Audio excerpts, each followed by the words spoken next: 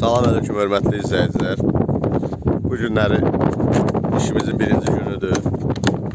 İnşallah Allahın köməkliyi ilə başlamışıq milləri atmağa. Sonra bol milləri döşənir. Burada sadəcə bir şey var ki, ev yəsinin öz istəyi ilə sonra polu milləri yəqin ki görürsünüz 80 santıdan bir döşənir, amma bu düzgün bir şey deyil, 60 santıdan döşənməlidir.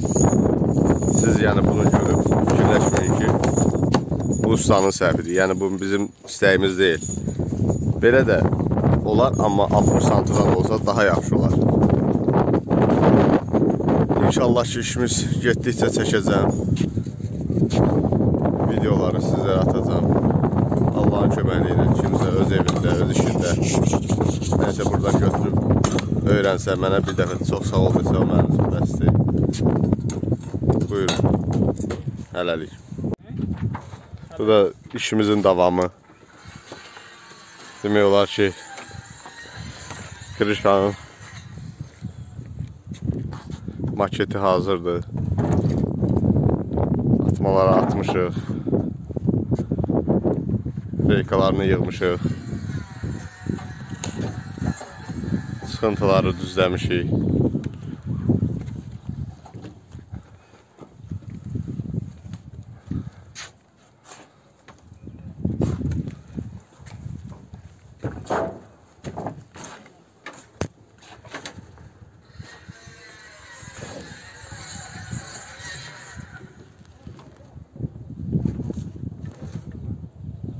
İnşallah ki, işində davamlı çəkib sizlərlə paylaşacağım. Damda bazanın yığılması. İlk növbədə damın tək baza qoyulacaqsa, damın sentrini götürüb tapmaq lazımdır. Və yaxud 2 dənə, 3 dənə baza qoyulacaqsa, damın enini həmin hər neçə baca qoyulacaqsa ona bölmək lazımdır. Məsəl üçün bizdə 2 baca olacaq. Biz bunu bölürük 3-ə 2. Tam şəkildə bacalar damın üstündə bərabər görünsün. İlk növbədə bu hündürlüyü göstərən budur.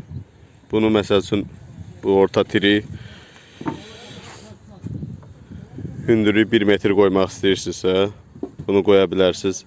90 santa, 10 santa buradakı taxta. Bunu qoyduqdan sonra məndə hal-hazırda hündürlüyü olacaq 1 metrə 15 santı. Birinci növbədə bunu qoyuram. Buradan urvinimi qoyub Buradan köməkçi düz saxlamaq üçün reyka ilə bərkidirəm. Bir dənə reykanı da buradan vururam. Yenə urvini qarşıdan qoyuram buradan. Köməkçi reyka ilə bərkidirəm ora. Sonra beltrinin taxtası. Yəni bu hissə. Bu hissəni də arxasını çəp eləyib uzadırıq bura. Üstünə üzərinə urvini qoyuruq. Harada düz göstərdisə, oradan bərkidib ağzını da buradan kəsirik. Bir də ki, bunun arxa hissəsini yandan ölçüsünü götürürük. Bir də aşağıdan eyni olmalıdır. Damın qarşısına paralel bölünmək üçün. İşimizi tamamlayırıq inşallah Allahın köməkliyi ilə. Burada düz karnizlə, əyri karnizin əvəzinə ev yəsinin istəyinə termovud taxtalar vurulur. Termovud taxtanı da yəqin ki, az çox adam bilir. Pişmiş taxtadır bu. Laklanmış, dolğulanmış hazır vəziyyətdə. Apşuka kimi bir-birinə keçir. Pistoletlə də vurulur. Nazim ismərmə. Evi demək olar ki, tamamlamışıq. Plintusları qalıb, termolit taxtaların. Bazaları yığmışıq. Şiferin 98-99 faizini vurmuşuq. Bir dənə termolit taxtanın üstünün vetraviki vurulacaq. Allahın köməkliyi ilə. Yavaş-yavaş işimiz irəliləyir. Burada işimizin hazır vəziyyətidir. Tam yığmışıq, hər bir şey hazır. İdeal vəziyyətdə. Ev yəsinə təhvil verdik. Sağ olsun, o da bizi razı yola saldı. Hər bir şey izolyasiyasına qədər, minvatasına qədər çəkilib. Burada sadəcə profnastir istifadə eləmişik ki, burada klonaz olduğuna görə selipçanın üstünə su yığılıb qalır klonaz olan yerdə.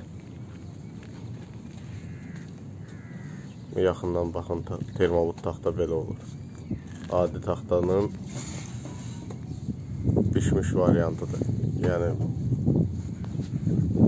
laklanmış, dolulanmış, para verilmiş variantı.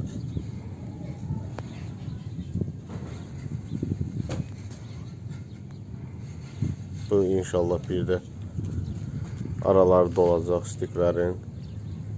Təzədən malyar üstündən işləyəcək. Lakın dolusunu bir də vuracaq. Bunun ömrü getdi. Nə yanır, nə necə deyərlər, korroziya uğrayır. Ömrü çoxdur bir sözlə demək olar ki, adi taxtadan. Bu da evin arxasıdır. Evin arxasında dəmir karniz vurmuşuq. Əsas evin qarşısı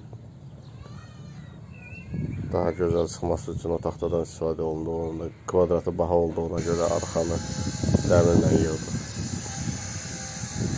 Bu da evin arxasının sağ tərəfdən görüntüsüdür.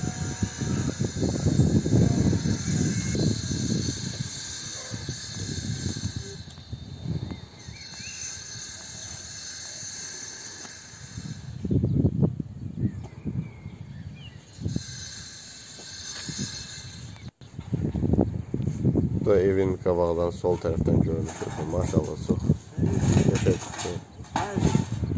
Sağlığına qismət. Allah hər kəsə belə evlər nəsib eləsin.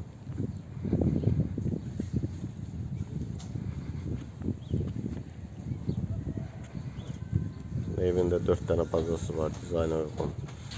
Novları yumru novlardan istifadə elədik. Dəmirin qalınlığı hardasa 47-48-dir. Bazarda bu gün 50-50 adı ilə satılan dəmirlərdir. Ki, material da normal keyfiyyətli materialdır. Bu da həyətdə hamamxananın üstüdür. Bunu da eyni materialla işlədik.